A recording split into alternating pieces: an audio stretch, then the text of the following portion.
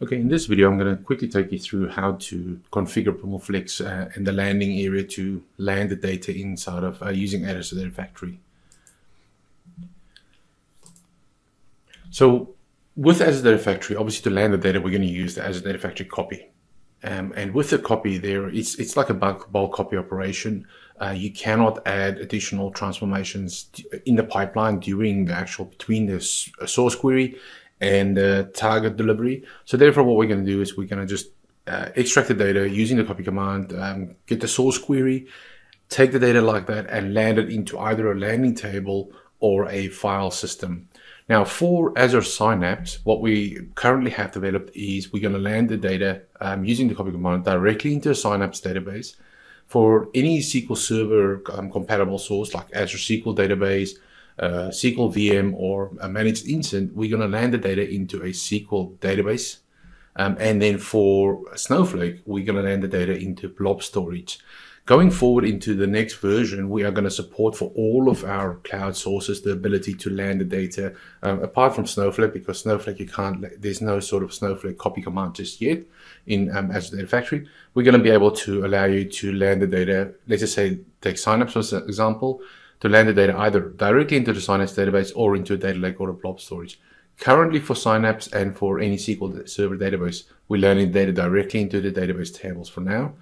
And then from those database tables, those landing tables or the landing area, we will take the data and move it using Azure Data Factory and stored procedures or ELT code, both for you know all the Microsoft sources and for Snowflake. We're creating Snowflake uh, stored procedures to take the data from this landing area here and process the data into the modern data warehouse or into its relevant data warehouse.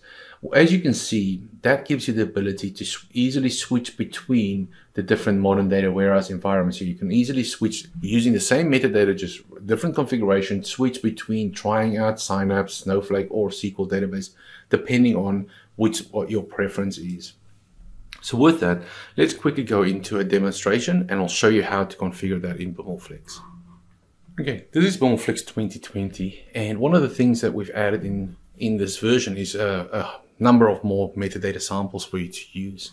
So what I'm going to do here is just show you how we would use one of our starting samples and configure that um, into using um, Azure Data Factory.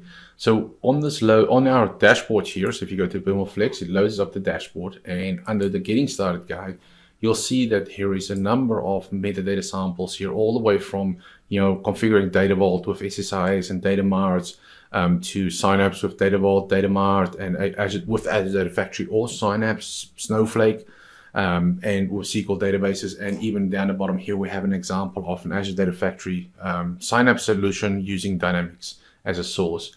But for the purpose of this presentation, we're going to just go ahead and grab the starting point here. I'm going to go replace the version. And now what I've done here is I'm loading, you know, our yeah, our really our example that has no metadata except for a couple of connections configured here, a couple of projects and a couple of patches. Because I'm only interested in showing you the source to sort of landing area configuration. And in the next presentation, I'm going to actually show you how we land the data. I'm going to just go and get rid of some of the metadata that I'm not needing. So I'm going to remove the data vault one here. Oops, sorry. Yeah, I'm going to archive the data vault one here. Um, and I'm going to archive the data mart one here. And then what I'm going to do is take go my source one here, which is going to take my data from a source connection, stage the data, and I have persistent staging switched on here. And I'm going to data vault. I'm going to change this to just say I'm just going to stay in the data vault space here. I'm going to save that. I'm going to do the same with my batches. I'm just going to get rid of my uh, data vault batch here. Uh, and I'm going to get rid of my uh, data mart batch here. Again, this is just to clean up the entire solution here. And then lastly, I'm going to go to the connections here. I'm going to get rid of my data vault uh, connection because I'm not going to go to the, in this presentation to the data vault and to the data mart connection here. So what I have now is I have my starting point. Um, so let's go ahead and actually start um, configuring this for Azure Data Factory. So the first thing we need to do is go to our projects and over here on the integration template, we're going to say we're going to use Azure Data Factory as a source to target. So instead of using SSIS to, move my data, I'm going to use Azure Data Factory. I'm going to get some warnings or errors here saying that, you know, I have, you've just configured your uh, integration template here to use Azure Data Factory, but none of your connections are set up to use the cloud or to use Azure Data Factory link services. So let's go ahead and fix that up. So going to go ahead here and go to my connections. Now, the first thing we need to do when we configure our connections is remember, we need to configure a landing connection. This is different to our SSIS templates where we can just land the data straight into the staging table because we could do some transformations in the pipeline. So what to create a landing area, I'm just going to uh, grab my staging uh, connection here and I'm going to duplicate that and I'm just going to call this BFX, you know, underscore land. You know, again, the names you could make it whatever you want to do it, but let's just go ahead for that. And then on the landing connection here, I need to, well, actually now I need to go and go ahead and actually configure everything for the cloud. So this landing connection here, let's go ahead and change the integration states to landing area. And I'm going to leave it um, like that at the moment. The next thing I need to do is I need to say this is actually a cloud enabled source here. So I'm going to switch on the cloud and I'm going to get my link service type here as SQL Server. Now, again, as you can see here, this could be an Azure SQL database or a um, Azure SQL managed instance. I'm going to leave that as it is. And then I'm going to go ahead here and I can configure my link service attributes here. Now, these link service attributes here is exactly the same as the ones that you would see on the Azure portal. Now, what we recommend, obviously, is that we're going to go and uh, change this to an Azure Key Vault here.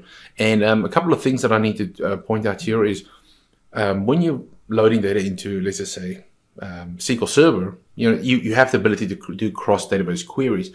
But if you're doing Azure SQL Database and Azure um, uh, Synapse, you may have a little bit more limitations. So what you want to do at this stage is possibly just call this at the database level here, uh, BFXDB, and then also the connection string because they're going to be the same kind of connection string. And I'm just going to copy this because I'm going to reuse that in a second.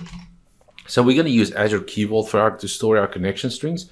Um, so just to recap on the landing connection, change the integration state to landing, uh, choose your database here because again, um, don't worry too much about the connection string for now because it's Azure Data Factory doesn't use this connection string. It's going to use this connection string down the bottom here and um, give it the secret name for the key vault. Uh, I'll save that. And now what I'll do is I'll go ahead and configure my other connections also for the cloud. So I'm going to go and do the source here Again, switch that on and just go key vault here. And for the source one here, that's all I need to do. Um, and when you're on a source, you have to say, where do you want to land the data? Hence, we created the landing connection at first. So I'm going to land the data there. And now I've got my source landing the data into here. I've got my ODS going over here. And on my ODS, again, I'm just going to, uh, or my persistent staging, I'm going to switch that on. I'm just going to change this Again, I'm going to have to use the same connection string here and it's the same database name. So I'll make it DB, right? And that's all I need to do. Again, um, when you get into the Azure Data Factory deployment side of things, the Key Vault stuff becomes a little bit more important, but that's documented on our website. I'm going to do the same for the staging. Drop that there, Key Vault, do that, and then go ahead here and say DB and save that. And lastly, my BIML catalog. Again, this is the orchestration engine where we do all of our logging of row counts and things like that. I'll change that to SQL authentication and I'll leave the BIML catalog connection string there. Recommend that you guys to also do that and save that. And that's it. Now I have set up my connections and my landing area, everything for the cloud. The last thing I want to do, or you may want to do is if you already have a key vault in your Azure Data Factory. You may already have one. Um, what you want to do there is go and actually, instead of using our auto-generated key vault, which is going to create just a generic name um, for the key vault, it's going to create a key vault for you. But if you already have a key vault, you can add the name in here. So I'm going to add my key vault name in here, and that's called BIML Flex. Check the spelling. I'll tab out of it. It'll auto-populate the URL for you. You can change it, but we recommend leaving it because that's going to be the same. I'll save that. The same in my landing area. Just choose the key vault that I want. Save that again. Operational data store. Save that again. And my go ahead here and just have all of them saved to my key vault. And now I have configured a, a, a, solution here. I've got all my connections that is cloud enabled, that is going to use link services to move my data around. My batches can stay the same. I have my project. I've changed my project's integration stage and I've set it up. So now I'm ready to actually go and uh, get some data, import some metadata and actually build out an Azure Data Factory solution that'll take my data from the source system and load it into this target system. Thank you for watching.